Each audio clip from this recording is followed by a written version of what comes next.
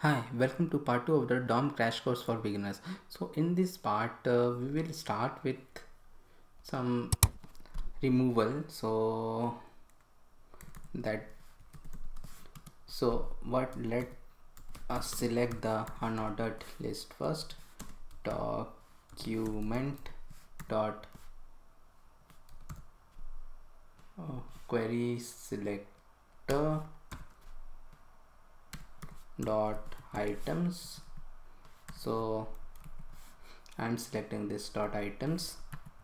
And then as I told I want to remove it. So there is a method known as remove. I will do it. And it will get removed. So let's move forward.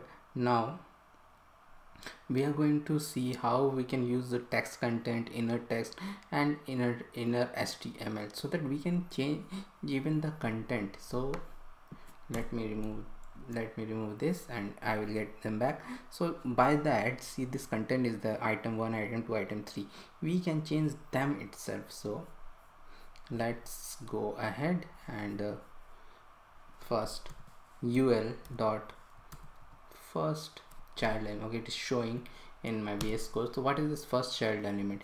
Ul dot ul dot first child element will give me access to the first child of unordered list which is this one li so first child first element child then text content. So text content will just say whatever the text is there let me save it. See it got changed into html so another method ul dot children. I can direct write children this children and I will give one. So because everything is array based so starts from zero. So what it will do? I want to target this second item item 2 so I'm giving one. So dot inner text text equal to css let me save it. Yeah the second one is changed to css now another list. Dot. Last element child. Dot. Inner html equal to.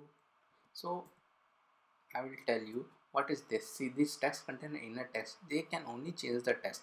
But inner html means we can pass the html and it will uh, take the HTML into consideration. Suppose I, there is HTML tag known as B, which is for so we have to give the complete HTML code here B. So it will change anything inside it to bold. So let me do JavaScript B. Let me save it and see it is bold. So this is the thing. So now let me do one more thing const btn equal to document dot query selector. I'm selecting the btn btn so I'm uh, selecting this button the only button here. So I can change the CSS also. How I can change the CSS btn dot style dot. Oh style. Some issue is there. I am not able to type style. And it change it to this. Background color. See one thing one important thing is that we are giving camel case. By default css properties have a dash in it. So this is camel case. Color see we are making it capital. So i can make it blue. And it will change to blue. The button changed to blue. Similarly uh, okay. We can change change other things anything. So uh, it's okay. We understood I think. So after that we will learn about event listeners. So we can e listen to any event in the DOM like a click event on some button or anything for that. Okay so let me comment this out. Let me comment this out also. I want this button. Okay so btn dot add event listener I will do. And then it goes like this click click event and it will give me a e. Let me open the console quickly.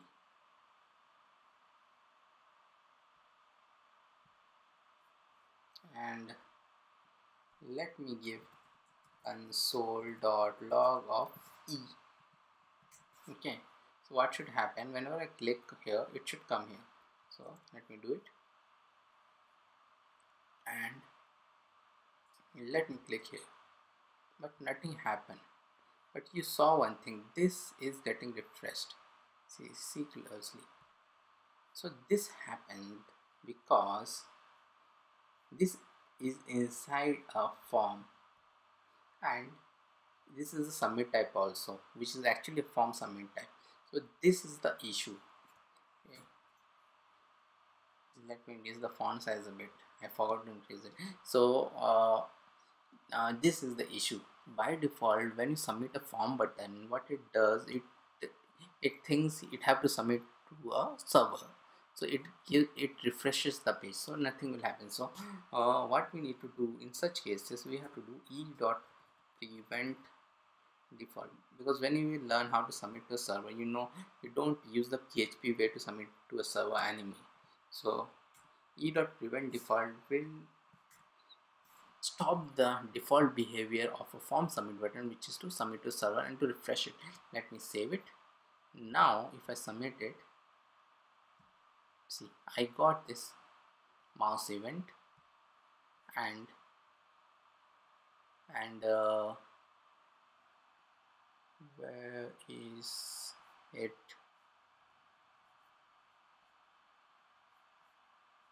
So see I want to do this. E is this. This target is input button. So what I want to do I want to see this actually.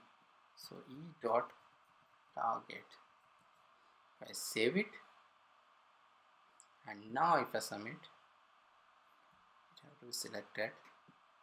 And now see this whole button is getting there. So uh, let let us do one thing. Let us do when I submit I will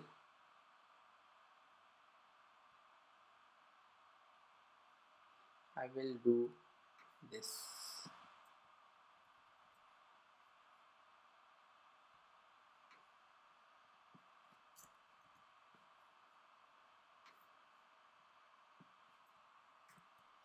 let me uncomment it. Let me save it. Let me do it. So what I'm doing right now when I'm clicking okay nothing happened. Ul dot first ul ul where is ul oh nothing will happen because I have to I'm not selecting it. So let me save it. And now let me remove the unnecessary thing so that I don't get confused. So this is the code right now. Okay so now let me do it. Yeah and it got changed. So you can do anything like this. So and uh, instead of this click event there are some other events also you can search the net over. It so mouse like mouse over is there. I'm coming here. And I'm taking my, my mouse over it and it gets changed. So this is also there. So you can change check it out. So now we will do some serious programming sort of thing. And for that what we need to do we will first we don't want this.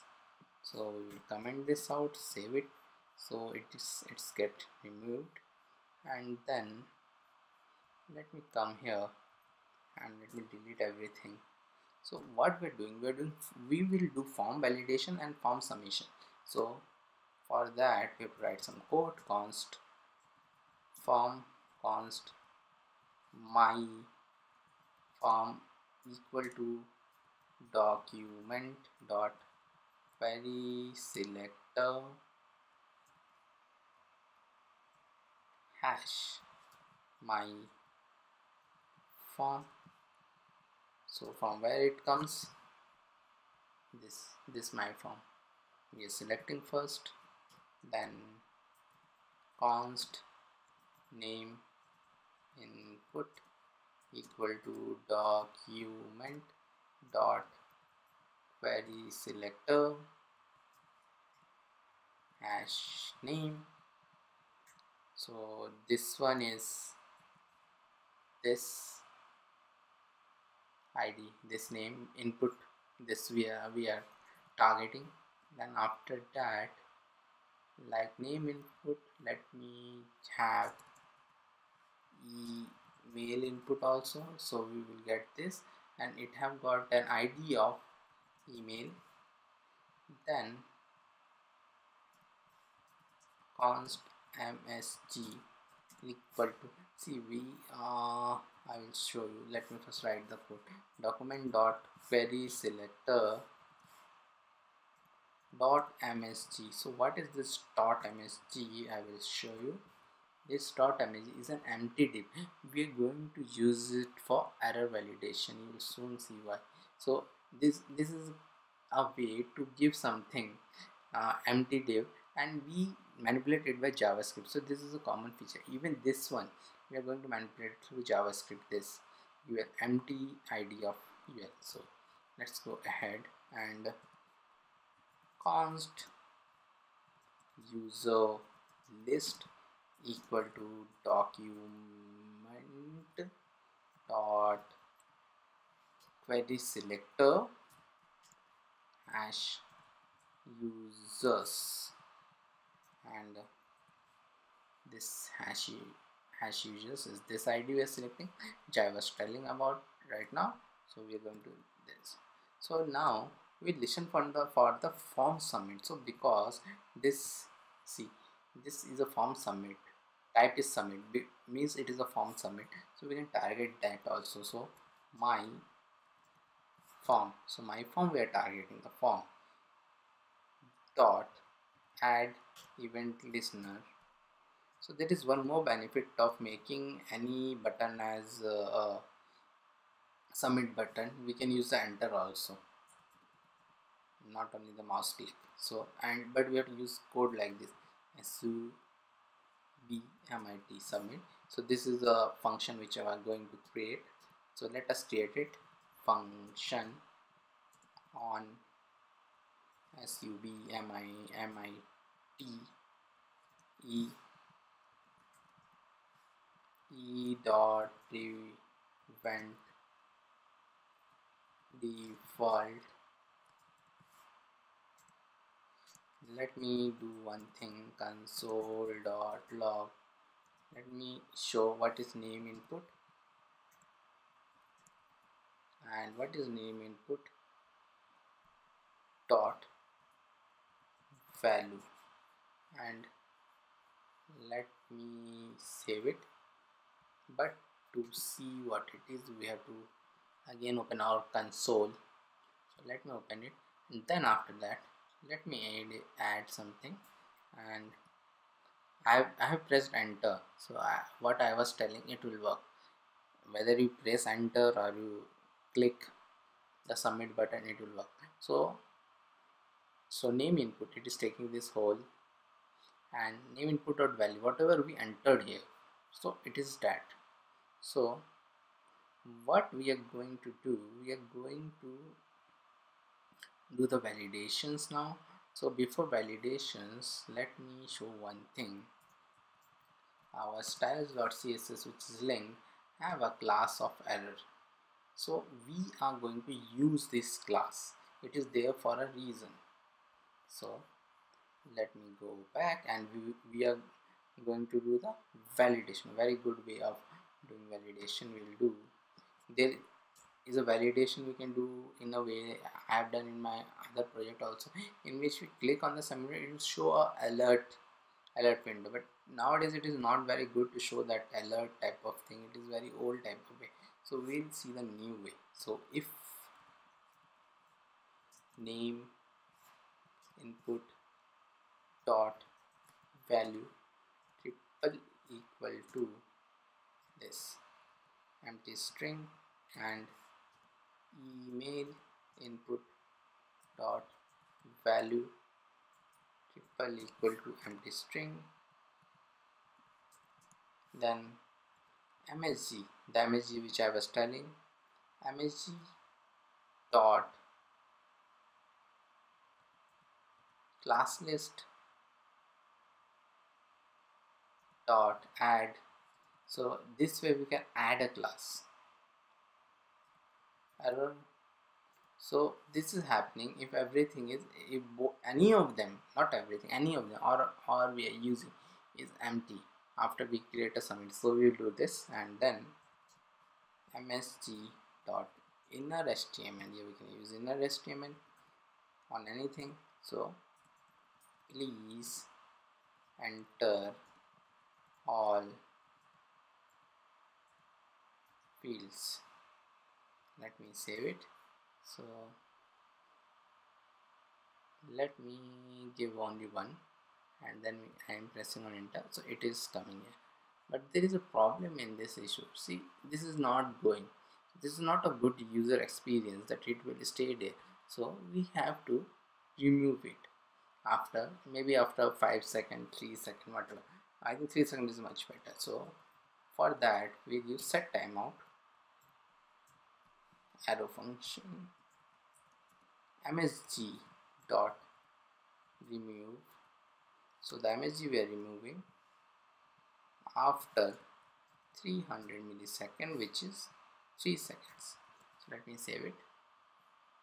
Again let me do it. Is there. Is there. It is gone after 3 seconds so now what we are going to do we are going to add the logic. So you are, whenever we enter something name email and then we click on submit. So it should add it somewhere. So generally should add it to a backend but we are not learning backend right now. So what to do in such case? So we'll just show it here. So you can add a logic to add it in the local storage but it's okay for now. I'm not adding that logic. So what we need to do? See this if part is there. Oh, where is this if part? If part ending is here. So I did one small mistake. It should be inside but it doesn't matter. It will even if I do it here. And let me go here. Message will come. So this part is actually meant for the else. Else means if the user enters both of them then this will do. Const li equal to document dot create element. So this way we can create element on the fly. With the create element tag this is a very powerful thing in javascript. We are just creating element on the fly. Then li dot append child. So we're creating li on the fly and then we are appending another element to it. And then here document dot create. We are going to use this create text node. And like this. So we are uh, using this template string then name input dot value as we have seen by value it will come and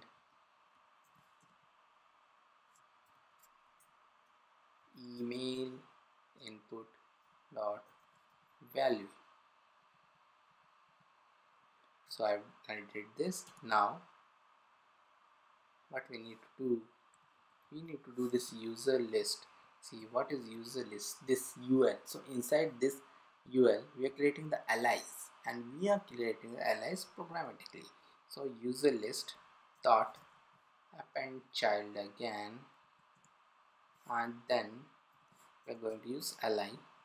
So I did the ally. And then I will also clear the field. So this is very important.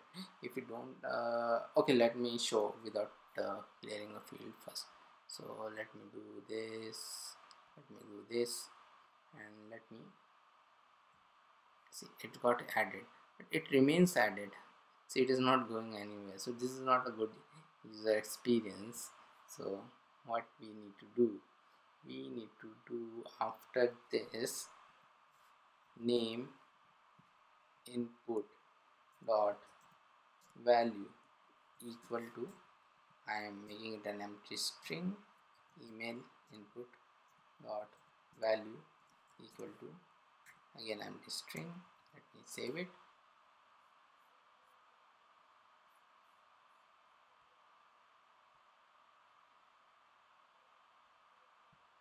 So this way you can add this. So this completes our DOM crash course. Hope you liked it see you in the next crash course which will be on async await. Thank you